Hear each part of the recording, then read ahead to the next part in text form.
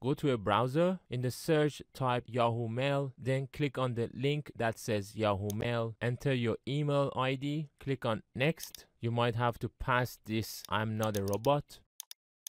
Then enter your password. Click on Next. And then you should get signed in to your Yahoo Mail click on your profile's photo and click on account info select security under the section called Account Health Check, you should see a link called Enable Two-Step Verification. Click on it. The second verification could be through any of these three options. If you don't have a physical security key, then the second most secure option would be Authenticator app. I have made another video explaining why Authenticator apps are better than text messages. You can find that video's link in the description. So select Authenticator app so first you will need to install Google Authenticator app. I've made another video on how to use Google Authenticator app. You can watch that from the link in the description. So after installing Google Authenticator app, click on continue. Then you should get this QR code on your screen. Go to your phone, tap on the plus icon on your Google Authenticator app, then select scan a QR code and then use your phone's camera and scan this QR code. Now you can click on continue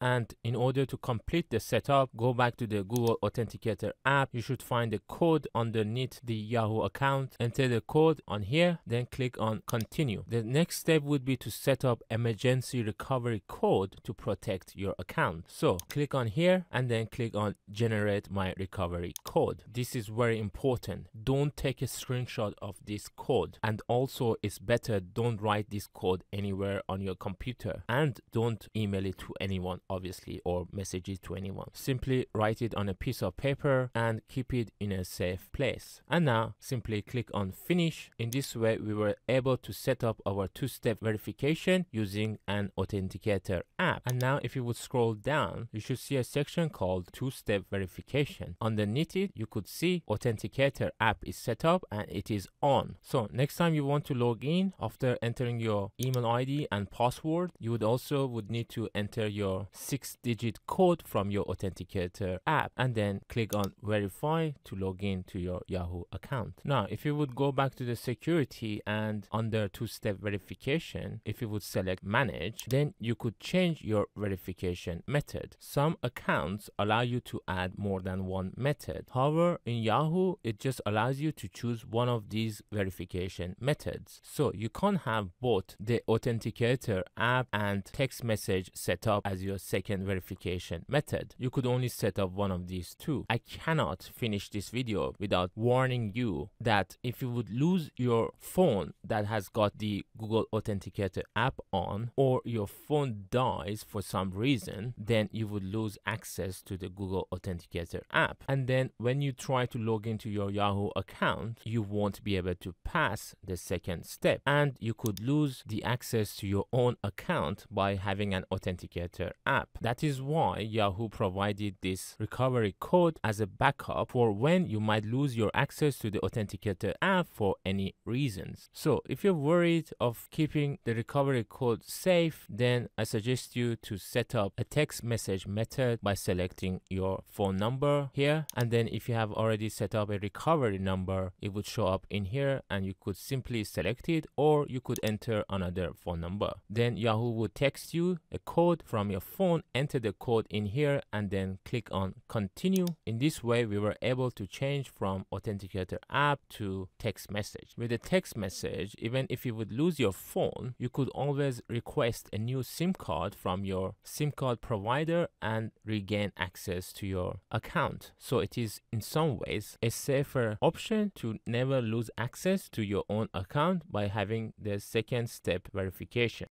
I hope this video was helpful. If it was, please don't forget to subscribe to support my channel. You can find my other videos in here. And if you have any questions, please let me know in the comments below.